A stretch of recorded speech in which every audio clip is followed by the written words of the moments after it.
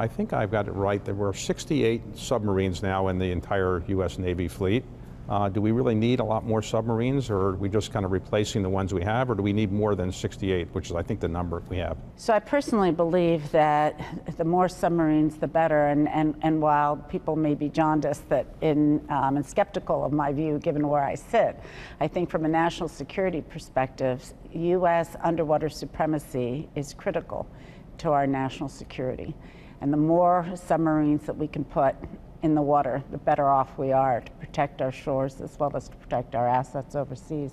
So it takes a long time to build a submarine. Uh, is it like three years, four years, five years? So the attack boats, when we're on about our 20-something attack boat, which is the Virginia-class submarine, takes about um, 70 months to build. Um, we are building the ballistic missile submarine replacement in the Columbia class, uh, which is replacing the Ohio class as part of the nuclear deterrent. That'll take us 84 months. So these are long, complicated build cycles. And uh, what does it cost to build a submarine? I assume it's uh, not, uh, you know, cheap. So the, the Virginia class is about $2 billion a submarine, but they are highly survivable weapon systems.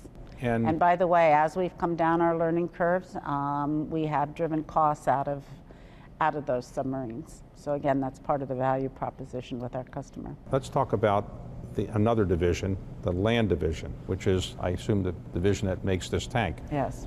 All right, so why are tanks so important today? Because with cyber and, and kind of missiles being launched off of submarines and so forth, do we really need tanks to kind of help the military that much?